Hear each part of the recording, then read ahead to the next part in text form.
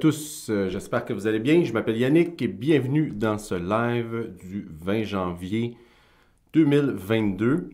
Alors, euh, je suis très heureux de vous retrouver aujourd'hui et je constate qu'on est déjà plusieurs euh, sur, le, sur le chat. Alors, c'est très cool. bonjour à tous. salut Mike. Mike Delta, Mike Plante, euh, québécois, euh, Sylvain, Stanislav, ah, de, ah, je me souviens plus de ton pays, mais c'est très loin, en Chine, je pense. Euh, salut Dominique, salut André, salut Jacqueline, salut Stéphane, salut Joël.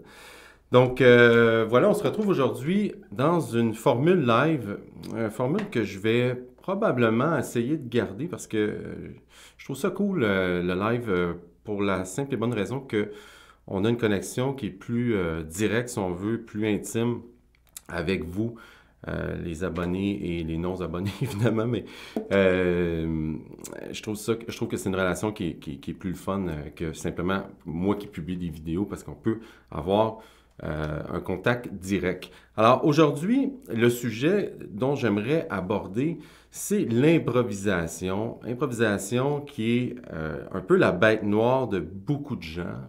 Il y a beaucoup de gens qui veulent improviser. En passant, s'il y a quelque chose de technique, je fais une parenthèse, mais euh, au niveau du son ou quoi que ce soit, euh, laissez-moi ça dans le chat parce que je vous jure que faire un live, le, côté technique est beaucoup plus stressant et, euh, que, le fait d'enseigner quelque chose ou de faire le live parce qu'il y a beaucoup, beaucoup de trucs à penser. Mais j'ai bien vérifié mes trucs et je pense que ça va bien aller. Donc, mais c'est quelque chose Laissez-le moi savoir euh, dans, le chat.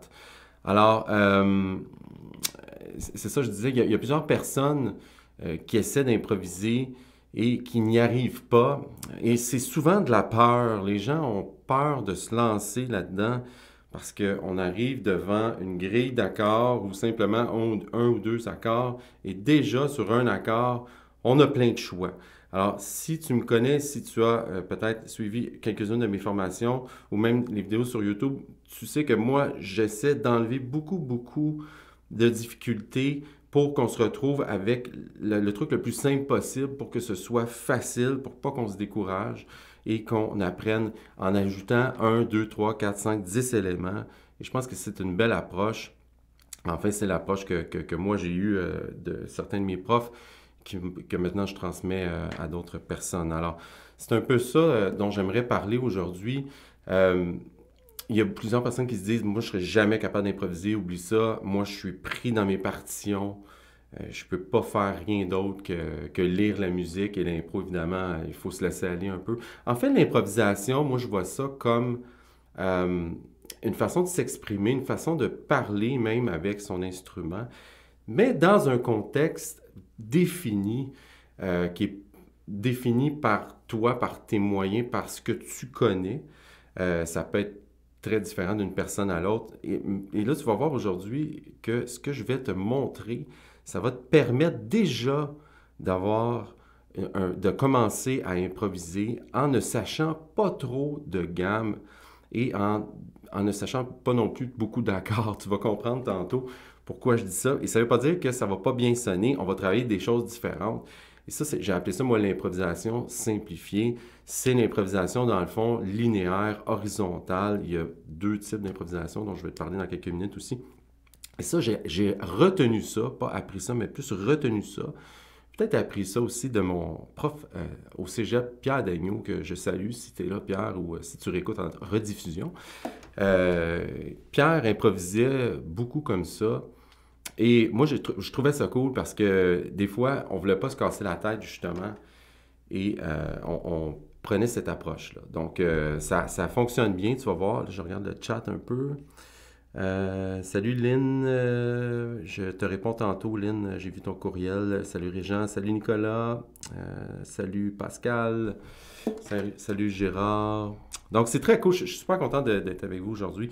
Alors, on va, on va regarder. Ah oui, je, voulais dire aussi, on peut se décourager parce que, admettons, je te donne une grille d'accord, par exemple, euh, sur euh, Black Orpheus, qu'on va peut-être voir tantôt si on a le temps. Sinon, je te fais un autre live plus tard cette semaine ou euh, la semaine prochaine, pardon, pour continuer le sujet dont on va parler aujourd'hui de toute façon. Mais admettons qu'on prend une grille d'accords comme Black Orpheus, qui a beaucoup d'accords quand même, mais il y a des patterns qui reviennent. Alors là, toi, tu peux figer devant ça et te dire euh, impossible, moi je ne peux pas improviser là-dessus, mais avec l'approche de l'improvisation simplifiée, on va pouvoir vraiment minimiser au maximum ce que tu dois faire pour obtenir ou entendre un résultat, un solo qui sonne quand même bien. Alors, l'important, c'est évidemment de rester dans les bonnes gammes. Alors, c'est ça qu'on va regarder aujourd'hui. Moi, je vois deux façons, je vois ça de deux façons, l'improvisation.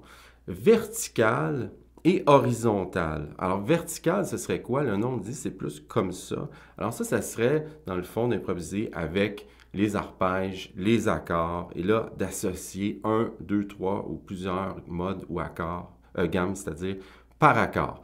Ça, c'est plus compliqué, puis là, il n'y a pas de fin là-dedans, avec les guide et tout ça. On, c'est plutôt compliqué. Là, c'est, le travail d'une vie, en fait. C'est ce que tous les joueurs de jazz font euh, tous les jours, si on veut euh, peaufiner notre jeu et devenir meilleur. Ça, c'est un dossier qui n'a pas de fin. C'est ça la beauté de la chose sur la musique en passant.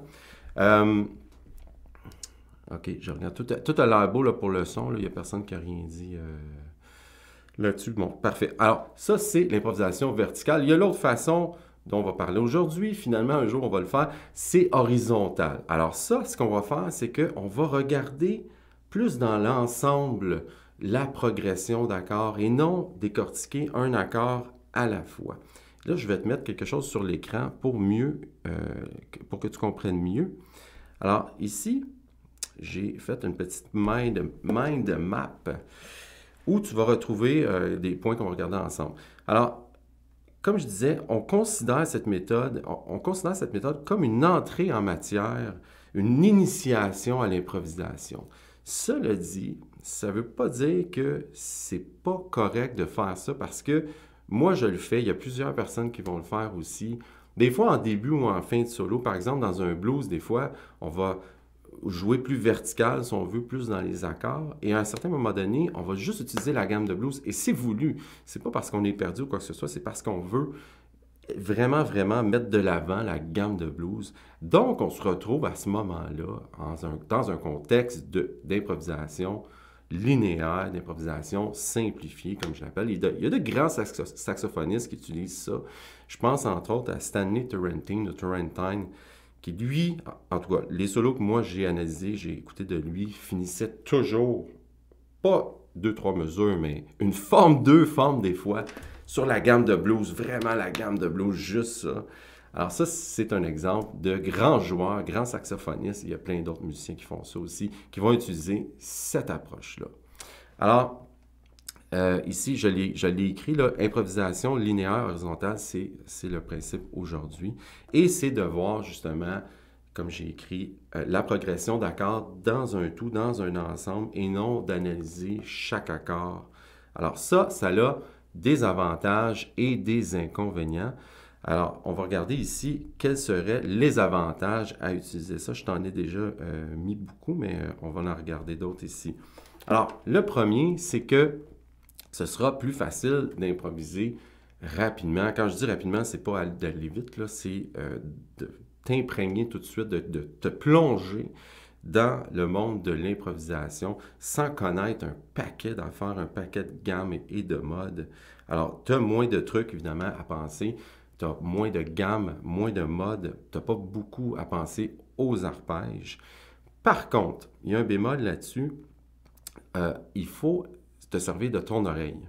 Euh, on va le regarder tantôt parce qu'on va analyser un 2-5-1 un 2-5-1 majeur où je vais t'expliquer vraiment de quoi je parle ici, pourquoi je te dis qu'il faut que tu te serves de ton oreille, parce qu'il y a certaines notes qui vont moins bien sonner si on utilise cette technique-là. Ça étant dit, c'est vraiment pas la fin du monde. Surtout si tu débutes, on s'entend là, on fait pas des spectacles, on veut juste se plonger là-dedans, s'initier à l'improvisation, avoir du fun. Parce que c'est souvent ça. Le truc, c'est que les gens se mettent à improviser un peu, ça fonctionne pas, c'est frustrant, on abandonne tout, finalement on revient au parti ou on abandonne la musique carrément, ça c'est encore pire. Alors, c'est ça qu'il faut que tu fasses, il faut que tu penses à travailler avec ton oreille. Et ça, tu vas l'entendre aussi à force de jouer. On va le voir tantôt. Je vais faire un exemple et tu vas voir que sans m'en rendre compte, même c'est certain, je sais que je vais faire ça, je vais aller comme m'appuyer sur euh, les chord sur les, arpèges des accords. Et euh, c'est ça que je dis dans le sens que je vais utiliser mon oreille, mais dans un contexte simplifié. Alors, ce que ça fait aussi, c'est que ça réduit la charge de travail dans le même optique que je disais tantôt, dans le fond, que tu vas n'utiliser qu'une gamme ou deux gammes au lieu de chaque accord. OK? Alors, on obtient aussi des résultats qui sont plus vite. Alors, pas plus vite dans le sens qu'on joue plus vite, mais qu'on obtient des résultats plus facilement et on va moins se décourager. Alors, je pense qu'il y a une belle balance à faire. Je ne te dis pas de ne pas apprendre tes accords et pas travailler tes arpèges, c'est vraiment pas ça le point, mais c'est d'essayer de, d'intégrer ça dans ton jeu, si tu veux. Maintenant, évidemment, il y a des inconvénients, on va les regarder. OK. Alors, on va moins entendre les accords. Si j'ai fait une faute de français, désolé, ça prend pas de S. Parfait. Alors, on va moins entendre les accords, c'est-à-dire que si tu jouais dans ce contexte-là en impro simplifié, en impro linéaire, en impro horizontal, et que moi j'essayais de savoir quel standard de jazz, par exemple, ou si tu joues un 2-5-1, euh, qu'est-ce que tu fais? Euh, je reviens dans les commentaires dans 30 secondes. Euh, on va moins entendre les accords. S'il y a une track, ça va, je, comprends, mais on va tout de même moins entendre les accords. Encore là, c'est un inconvénient, mais ce n'est pas la fin du monde. Et l'autre inconvénient, je trouve, il y en a sûrement d'autres, c'est que ça va donner des impôts qui sont un peu plus simples, un peu, plus, un peu moins élaborés. Alors, moins recherché, moins jazzy, si tu veux, avec, parce qu'il n'y aura pas d'enclosure, il n'y aura pas de chromatisme. On va rester dans un contexte, dans une gamme particulière. OK? Je vais juste regarder quelques commentaires. Euh, oui, c'est ça. Atelier du musicien, ça c'est Sébastien, euh, la personne qui fait euh, des miracles sur mon saxophone, mon réparateur. Salut Seb. il dit si on utilise une gamme, il faut, sur une progression complexe, il faut écouter l'importance des degrés de sa gamme. C'est ça que je disais dans le fond, avec les inconvénients. Dans les inconvénients, c'est que on va moins entendre les degrés, mais Sébastien est un euh, très bon musicien.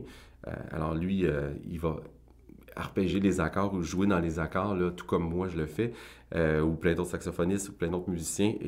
Mais inconsciemment, je pense que ce qu'il veut dire, Sébastien, c'est qu'on va aller targeter, on va aller jouer les notes des accords sans le savoir.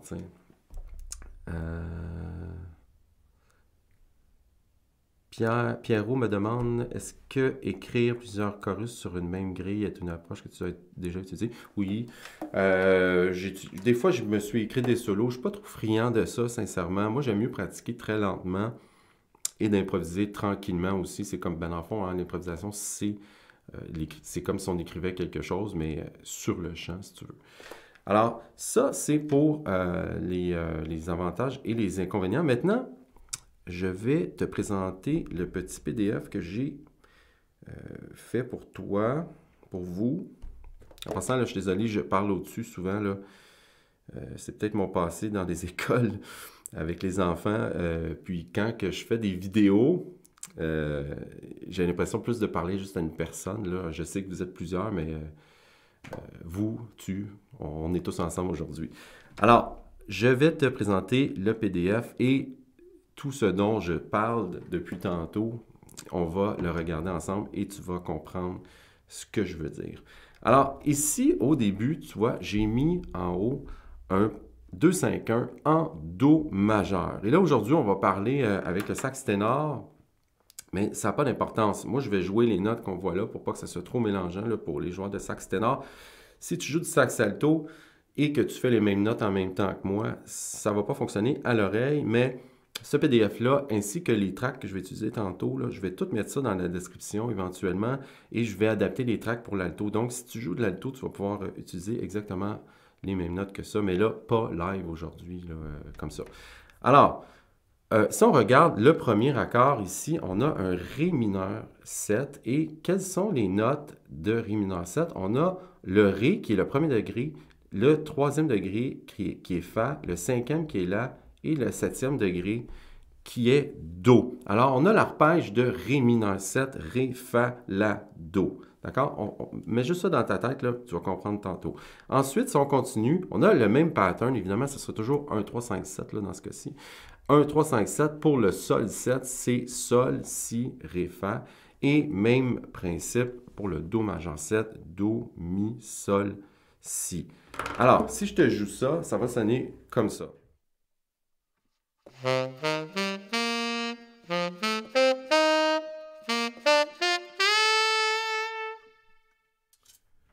OK? Donc là, j'ai vraiment joué les accords comme si, admettons, si j'étais dans un 2-5-1 et que les accords étaient plaqués par les musiciens euh, qui accompagnent piano, euh, whatever, guitare, contrebasse. Là, si je joue ces notes-là pendant qu'eux font ces accords-là, évidemment que ça va bien sonner parce que je joue les mêmes notes que eux jouent. Maintenant, ce que je veux que tu réalises, c'est, on va parler de mode 30 secondes. Et là, ça se peut que tu sois tout mélangé, mais je vais te t'exposer le portrait au complet pour enlever des difficultés après, pour que tu comprennes bien la logique. Alors, si on parle du Ré mineur 7, quel serait le mode que je voudrais ou pourrais plutôt utiliser sur le Ré mineur 7? Je l'ai écrit juste ici à côté, évidemment. C'est le Ré dorien. Et là, c'est là que mon explication va prendre tout son sens. Comment on obtient le Ré dorien? C'est quoi le Ré dorien? Est-ce que quelqu'un peut me le dire dans le chat juste pour le fun? Le Ré dorien est tiré de quelle gamme? C'est ça que j'aimerais savoir. Je vous laisse 5 euh, secondes. Si vous ne l'avez pas en 5 secondes, ça veut dire que vous ne savez pas. Ah merde, euh, ben, je pense que ça, je pense ça prend 30 secondes, 60 secondes avant que le, truc apparaisse dans le chat. Donc, on va oublier ça, mes questions. Fell. Euh, donc, le ré dorien, je vais vous le dire tout de suite, le ré dorien est tiré de la gamme de Do. En fait, c'est le deuxième mode, le mode dorien, le deuxième mode d'une gamme majeure. Ici, en l'occurrence, le ré est la deuxième note. Bravo, euh, Denis et euh, Stéphane. Ré est la deuxième note de la gamme de Do. Donc, ce que je vais faire pour trouver logiquement mon, mon mode dorien, mon Ré dorien ici, c'est que je vais partir de Ré en utilisant les altérations de la gamme de Do, c'est-à-dire ici, il n'y en a pas. Donc, Ré, Mi, Fa, Sol, La, Si, Do, Ré. Et ça, ça me donne le Ré dorien. OK? Si on continue dans cette... Tu veux l'entendre peut-être? Je te le joue.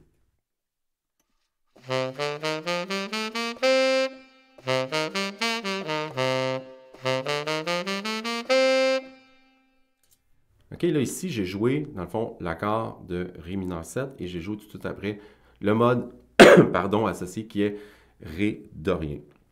Maintenant, on met ça de côté, on met ça dans notre tête. On continue ici avec le Sol 7, Sol, Si, Ré, Do comme accord. Et le mode qu'on peut utiliser là-dessus, c'est le Sol mixolydien. Comment on obtient le mode mixolydien, toute tonalité confondue? Le mode mixolydien est le cinquième mode d'une gamme majeure. Alors, en l'occurrence ici, puisqu'on est dans, est dans un 2-5-1 en Do majeur, Sol est la cinquième note de la gamme de Do. Alors, ce que je vais faire, même principe que pour le Dorien, je vais utiliser le mode mixolydien de la sorte. Je vais partir de Sol à Sol en utilisant les altérations de la gamme de Do. Il n'y en a pas. Donc, même chose que tantôt pour le Sol, euh, pardon, pour le Ré mineur 7, je vais commencer sur Sol, de Sol à Sol, en utilisant les altérations de la gamme de Do, donc aucune, et ça va marcher, ça va fonctionner sur le Sol septième.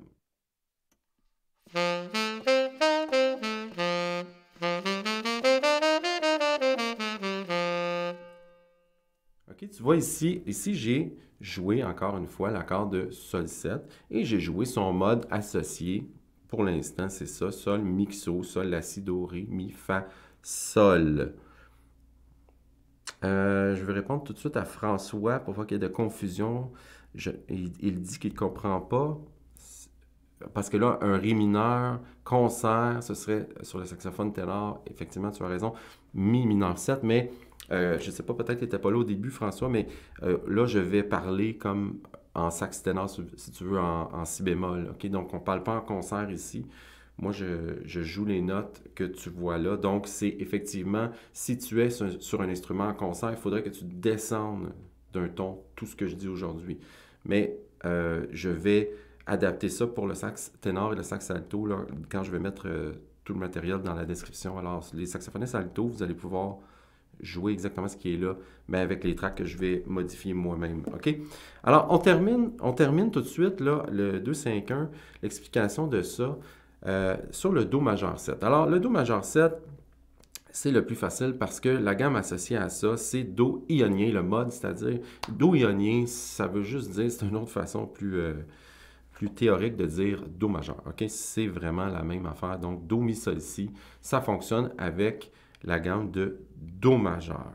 Alors, je ne te ferai pas d'exemple comme ça. Là-dessus, je pense que tu sais comment ça sonne une, gamme de Do euh, majeur. Alors, ce que je veux dire là, ici, c'est que tu vas pouvoir utiliser Étant donné que c'est diatonique, tu vas pouvoir utiliser sur le 2-5-1 au complet, le Ré mineur 7, le Sol 7 et le Do majeur 7, tu pourrais techniquement utiliser seulement la gamme de Do majeur.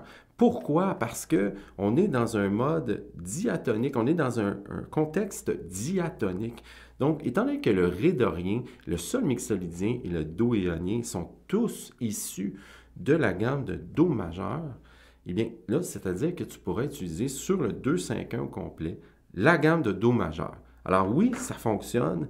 Oui, des fois, il va y avoir un petit clash qui va se passer sur certains accords par rapport à certaines notes dans la gamme de Do majeur. Et c'est là que je te dis qu'il faut que tu te serves de tes oreilles. Maintenant, moi, je dis toujours cette blague-là, là, on n'est pas des médecins qui opèrent à cœur ouvert. Alors, si tu fais une fausse note, là, c'est pas si grave que ça, on s'entend. Tu peux passer à l'autre note. Puis, euh, je pense que tout le monde va s'en tirer. Alors, l'important, c'est d'expérimenter, d'essayer des trucs, puis, euh, après un certain moment donné, de dire, ben moi, j'aime ça, ça, j'aime ça, ça, j'aime ça. OK? Alors, ce que je vais faire, c'est que je vais te mettre une track d'un 2-5-1 en Do majeur pour moi, donc les trois accords qu'on vient de voir, pour le sax ténor, donc ce sera en si bémol concert, et je vais jouer la gamme de Do majeur là-dessus. Tu vas entendre que ça va fonctionner, OK? Et tout de suite après, je vais te faire un autre exemple pour te montrer comment je me sers de mes oreilles avec ça. Alors, c'est certain qu'il va y avoir, comme je disais, quelques notes qui vont peut-être euh, avoir certains petits problèmes, là, mais ce n'est pas la fin du monde. Alors, je vais mettre ça pour m'entendre, euh, pour entendre ma track. Là, je vais simplement jouer euh, la gamme de Do majeur.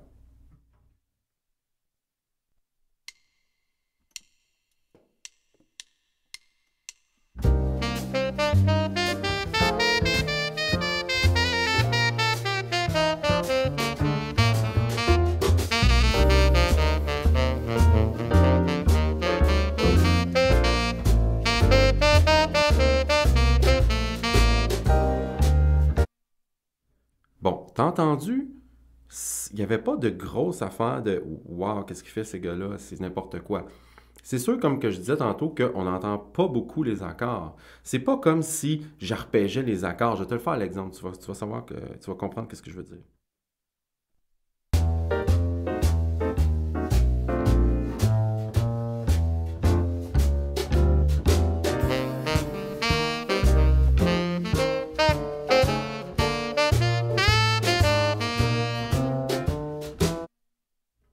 Vois, là, ici, j'ai juste arpégé les accords sur chaque, euh, sur le 2, sur le 5 et le 1. C'est certain qu'on entend bien les accords. Là, ici, on est dans un contexte d'improvisation euh, simplifiée. Alors, c'est de la première façon que j'aimerais que tu développes ton langage. Là, ce que j'ai fait tantôt, j'ai juste joué la gamme de Do, alors avec quelques petits rythmes par-ci par-là. Mais maintenant, je vais vraiment sincèrement essayer de me limiter à la gamme de Do majeur en utilisant mes oreilles, par contre, alors parfois, je vais aller sans m'en rendre compte sur les notes des accords qui sont joués ici, mais mon but, c'est de rester dans un contexte de Do majeur. Donc, c'est vraiment ça que j'essaie de faire en utilisant mon oreille et en essayant de construire une mélodie. Parce que l'improvisation, c'est ça aussi, c'est pas juste épater la galerie, de faire plein de trucs sur notre ça regarde comment je suis bon, je suis bon, je suis bon, c'est de faire des mélodies. C'est ça que les gens aiment aussi de toute façon. Alors, je vais te faire une mini impro hyper simple en utilisant la gamme de Do comme je le ferais dans un contexte là, où j'improviserais.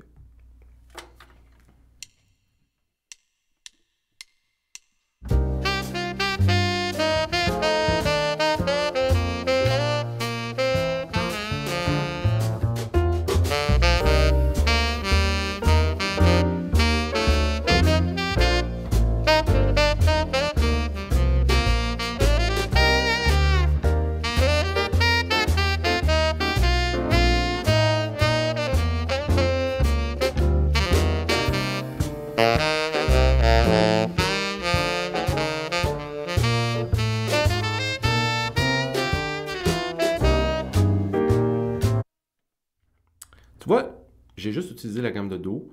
Oui, je suis allé des fois m'asseoir, si on veut, jouer les notes des arpèges, mais je suis resté dans la gamme de Do. Je me suis servi de mes oreilles. Ça, c'est avec l'expérience que tu vas développer ça. Donc, je pense pas qu'il y ait personne euh, ici, à moins que tu viennes d'acheter ton saxophone il y a 32 minutes, euh, qui n'est pas capable de jouer la gamme de Do majeur sur son saxophone. En fait, si tu ne sais pas, tu l'apprends, on n'en parle plus après. C'est la première gamme que tu vas apprendre, probablement. Donc, après, tu pourras utiliser ça et commencer à improviser. En fait, cette euh, approche de l'improvisation, ce que tu peux essayer de développer, je l'ai dit tantôt aussi, c'est de faire des mélodies, de jouer avec le rythme, de changer le rythme. Tu pourrais prendre, par exemple, euh, juste deux ou trois notes de la gamme et de jouer vraiment, vraiment avec le rythme. Par exemple, je pourrais prendre Do, Ré, Mi seulement et changer le rythme avec, euh, avec, avec ce 2-5-1-là. Et ça fonctionnerait aussi. Je vais te faire un exemple. Do, Ré, Mi.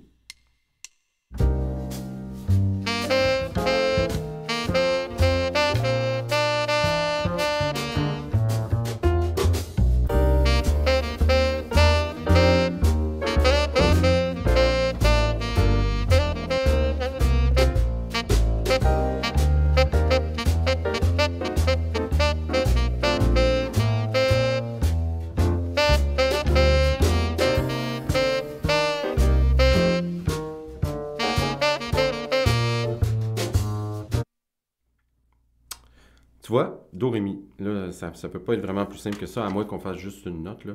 Donc, euh, je vois dans les commentaires Sébastien qui me dit euh, c'est quoi les. C'est quoi les notes de passage? Euh, ben, En fait, c'est ça que j'ai vu. Ouais, c'est quoi les notes de passage que, que tu ajoutes? En fait, je j'essayais de pas en ajouter. Là. Si je l'ai fait, c'était pas voulu. J'essayais vraiment de rester dans la gamme de Do majeur. Alors, euh, ça, l'improvisation simplifiée, euh, c'est un concept que je n'ai pas inventé en fait, mais que j'essaie de pousser avec les gens qui commencent, les gens qui, euh, qui veulent s'initier à l'improvisation.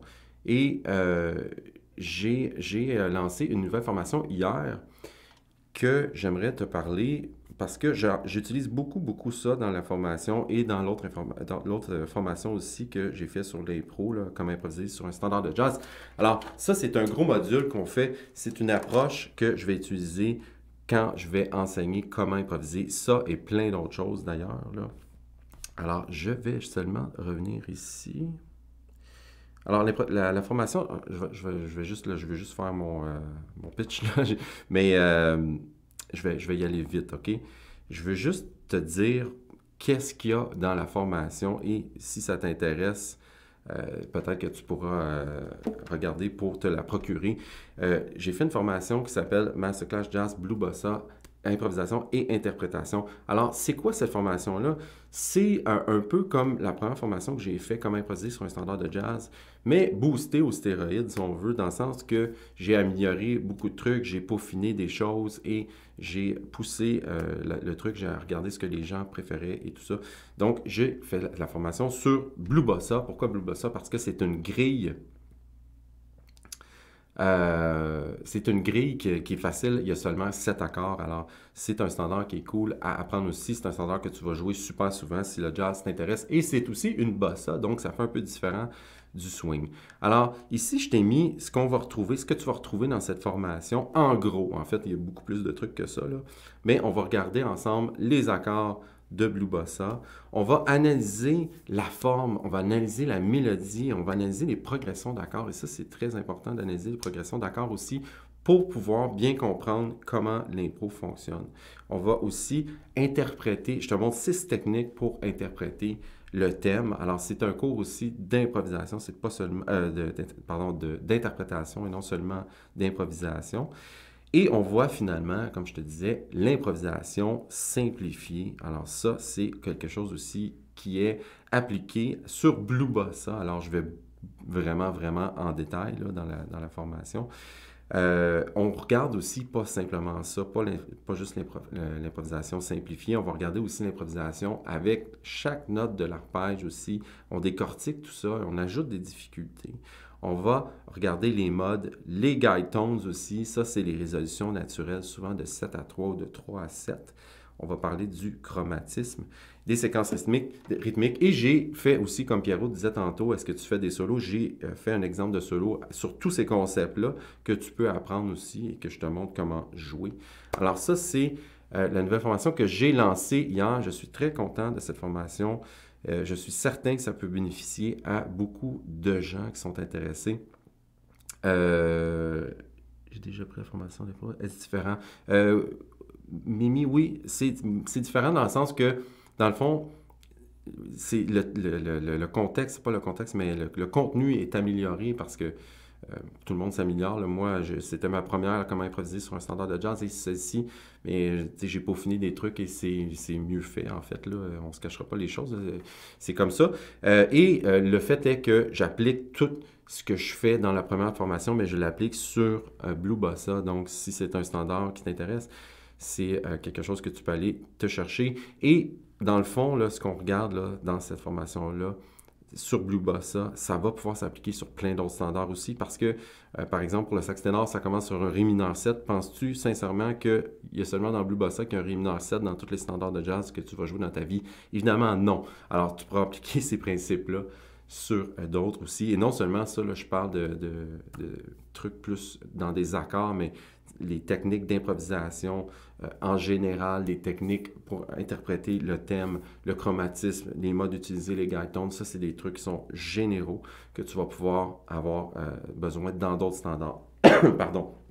Donc, c'est, euh, je pense, quelque chose qui pourrait être utile à plusieurs d'entre vous. Et comme tu peux voir défiler en bas, c'est le premier lien en description. Il y a un 30% de rabais, ben, pas de rabais, mais de remise si tu veux, de lancement. Alors ça, c'est jusqu'à lundi minuit, j'enlève ça. Donc si tu veux profiter de cette offre, c'est euh, maintenant jusqu'à lundi minuit.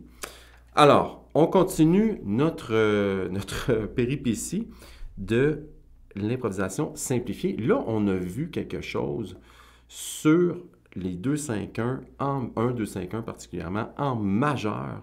J'aimerais qu'on regarde un 2-5-1 en mineur. Et là, euh, tu vas voir que c'est un peu différent, un peu plus contraignant si on veut. C'est-à-dire que euh, on n'a pas beaucoup de choix pour des raisons que je vais t'expliquer à l'instant. Alors, si on poursuit ici, euh, on a fait ça. On est maintenant rendu au 2-5-1 en mineur. Alors, qu'est-ce qu'on a ici comme 2-5-1? J'ai fait finalement la relative mineure. J'ai utilisé la relative mineure de Do. On est en La mineur, donc La mineur 7 pour la tonalité principale. Donc, on se retrouve avec un accord de Si mineur 7 bémol 5, Mi 7, bémol 9, bémol 5. Je ne l'ai pas écrit, j'aurais dû euh, altérer dans le fond. Ça peut être n'importe quoi. Euh, bémol 5, dièse 5, dièse 9 ou bémol 9.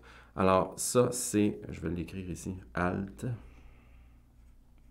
Alt. Alors, ça, quand on écrit, quand, si tu vois altérer, ça veut dire que les extensions, les quintes et les neuvièmes peuvent être altérées. Alors, euh, ils ne sont pas bécard, ils sont soit bémol ou dièse. Et tu as aussi comme premier degré le La mineur 7, parce que là, on est dans, dans un 2-5-1 en La mineur. Pardon. Donc, si on regarde en détail, comme on a fait tantôt, le premier accord, le 2, finalement, le Si mineur 7, bémol 5. Sur cet accord-là, tu peux utiliser, entre autres, le mode locrien. là, je l'ai écrit ici, le mode locrien. Le mode locrien, c'est le septième mode d'une gamme majeure. Alors, Si elle a quelle note, est la septième note de quelle gamme majeure? Est-ce qu'il y a quelqu'un peut me répondre? Ah, c'est vrai qu'il y a un délai. Euh, je vais attendre quelques secondes. Alors, Si est la septième note de quelle gamme majeure? Do, Ré, Mi, Fa, Sol, La, Si. Alors, c'est comme tantôt, finalement, Si est la septième note de la gamme de Do. Alors, ce que tu vas faire, c'est que tu vas commencer ton mode de locrien sur la note Si, mais en utilisant les notes, les altérations pardon, de la gamme de Do. Alors, il n'y en a pas. C'est Si, Do, Ré, Mi, Fa, Sol, La, Si. OK? Et ça, ça a un son plutôt particulier, le mode locrien.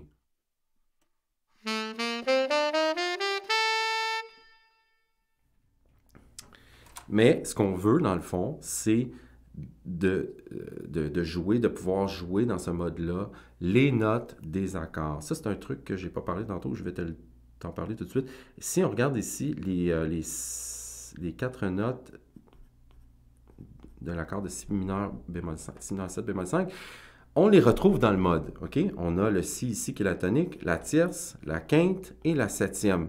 Et dans le fond, là, c'est ça que je veux que tu réalises, là, peu importe le mode, euh, tout mode confondu, c'est que dans le mode, tu vas retrouver ton accord, tu vas retrouver ton arpège. C'est juste que nous, les saxophonistes, on ne peut pas jouer deux notes en même temps. Alors, on les fait une après l'autre, c'est peut-être pour ça que c'est moins évident. Et qu'est-ce que tu as entre les notes, entre les notes de l'arpège, qu'est-ce que tu as? Tu as comme soit des extensions ou des notes de passage. OK? C'est ça que ça sert les, notes, les, pardon, les gammes ou les modes pour improviser.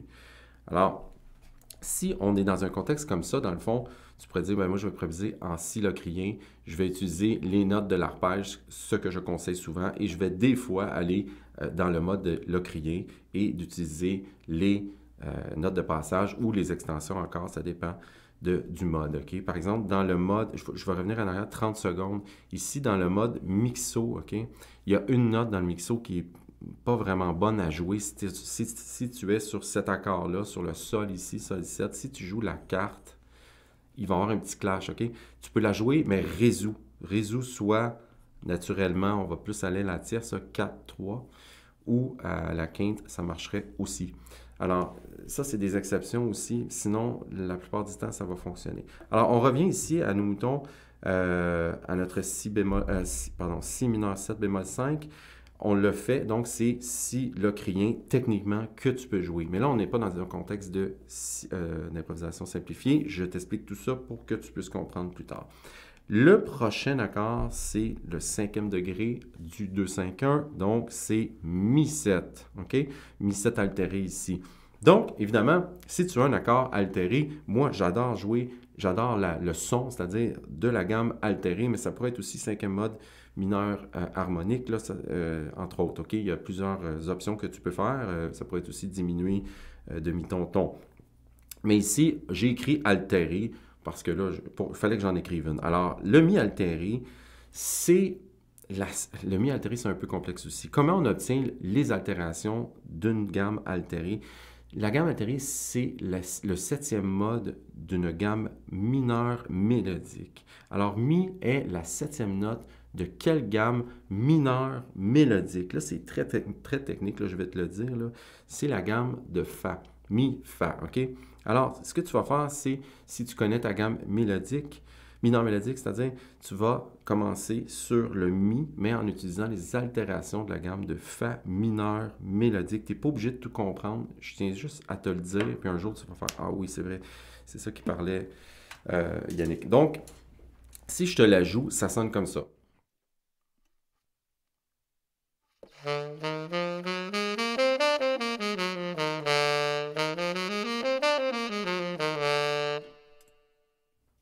Ça, c'est le son de la gamme altérée. Alors ça, c'est dans un contexte, euh, oui, ça se complique un peu, mais je vais, je vais, je vais revenir en arrière. Euh, alors, alors euh, ça, c'est dans un contexte d'improvisation où, où, tu vas comme plus être vertical et utiliser les gammes appropriées, pour, gamme ou mode approprié pour chaque accord.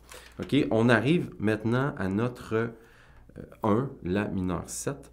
Alors, ici, on a si on veut, c'est pas obligé, mais le La dorien, ok? Tu peux, tu pourrais jouer La dorien, tu pourrais jouer La dorien sur le La mineur 7. Le mode dorien, c'est comme tantôt, c'est le, deuxième, le deuxième mode d'une gamme majeure. Alors, La est la deuxième note de quelle gamme majeure?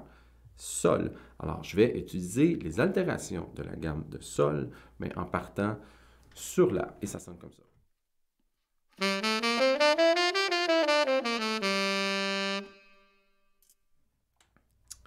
OK. Maintenant, dans tout ce cafouillis de notes et de, modes, tu constates que ce n'est pas la même chose que dans un 2-5-1 en majeur. C'était très facile parce qu'en majeur, on était tout le temps diatonique, tout le temps dans le même truc, dans la même gamme de destination, si tu veux. Alors, on n'a pas le choix de modifier un peu ça. Alors, une des options que moi j'utilise, et j'en expose beaucoup plus dans la formation, dans un 2-5-1 en mineur, je vais utiliser le, la gamme mineure pentatonique du 1. Alors ici, on est en... Le 1, c'est La, OK? La mineure. La mineure. Alors, je vais utiliser la gamme de la... Oh, La mineure pentatonique. 1, 3, 4, 5, 7 bémol. OK, 7 mineur. 1, tierce mineure, quarte, quinte, septième euh, mineur, si tu veux, et euh, on termine avec la tonique. C'est 5 notes? Ça sonne comme ça.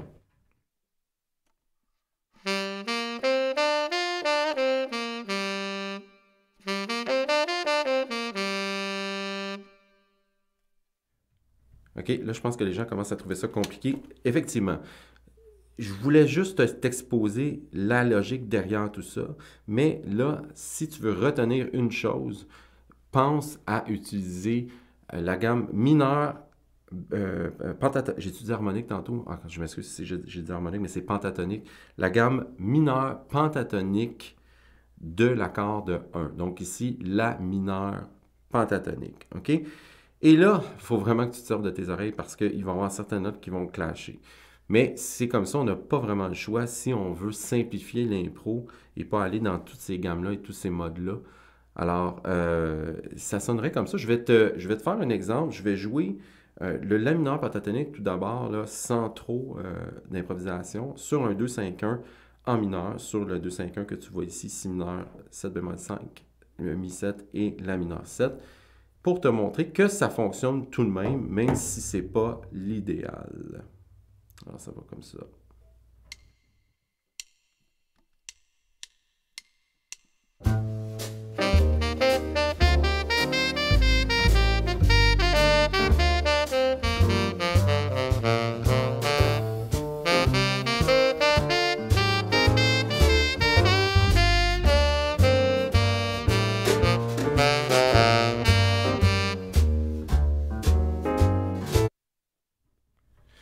Tu vois ici, là, Lynn, c'est trop compliqué pour toi. Écoute, Lynn, tu as cinq notes. La, Do, Ré, Mi et Sol. Parce que tantôt, j'ai parlé beaucoup de trucs, mais c'est pour ceux qui comprennent plus, qui sont plus, pas qui comprennent plus, qui sont plus avancés là-dedans. Mais si tu veux simplifier ton impro dans un contexte d'improvisation simplifiée, dans un 2-5-1 en mineur, tu peux utiliser la gamme mineure pentatonique du 1. Alors ici, la mineure pentatonique. Encore une fois, s'il y en a qui s'insurgent, qui disent eh, ça ne fonctionne pas, c'est pas l'idéal. Je sais. On essaie juste de simplifier les trucs ici, OK? C'est pour ça qu'il faut que tu te serves encore une fois beaucoup de ton oreille. Là, j'ai juste monté et descendu la gamme. Si je me sers de mon oreille, je vais faire une petite impro. Tu vas voir que ça sonne pas si mal que ça. Ça sonne pas comme genre tu es dans une autre gamme ou dans une autre tonalité. On est tout de même dans le même centre tonal. OK? Alors, je remets cette petite track et je te fais une genre de petite impro en me servant de mes oreilles et de seulement cinq notes. OK?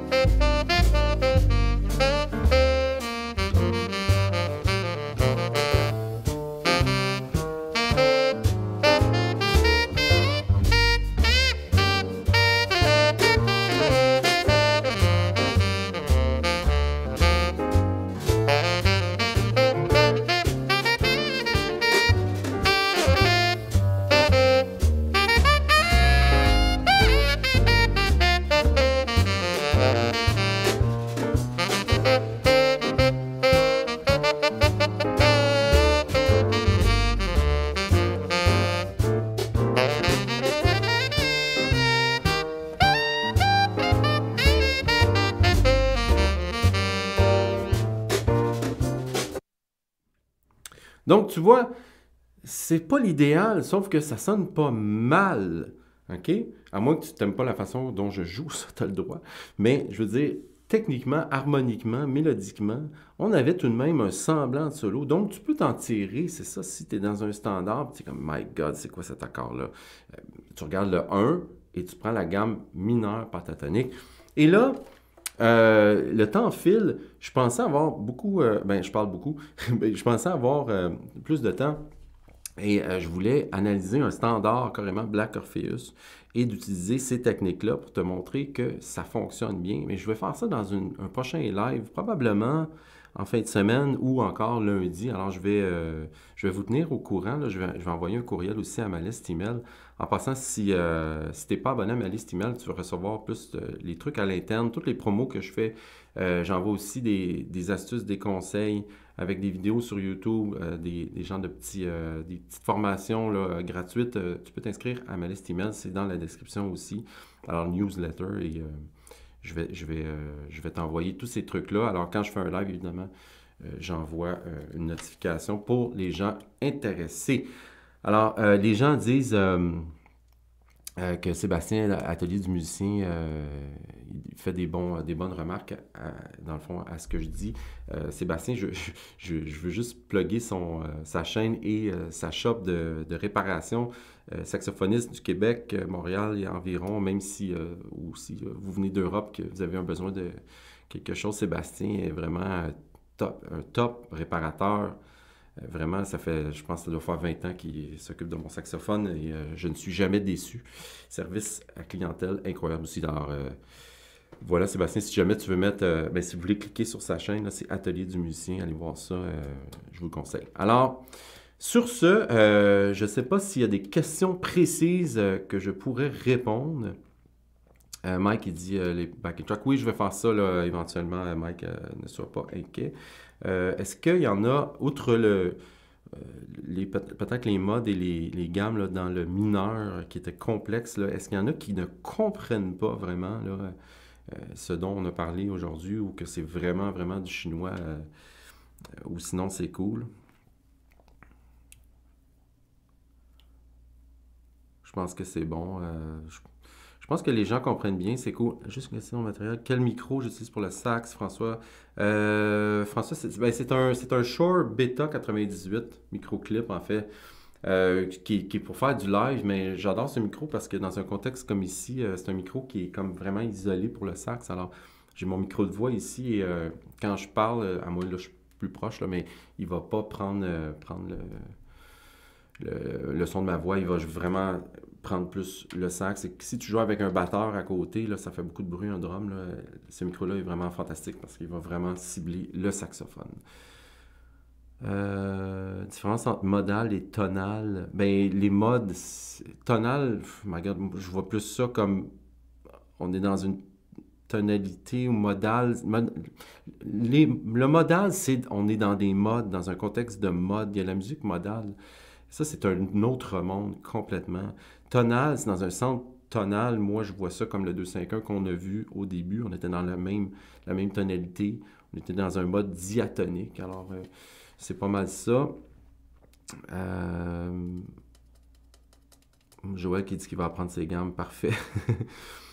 Alors, euh, sur ce, je pense qu'on va clôturer ce, live que je voulais garder sous les 30 minutes, mais je, pense pas que c'est possible.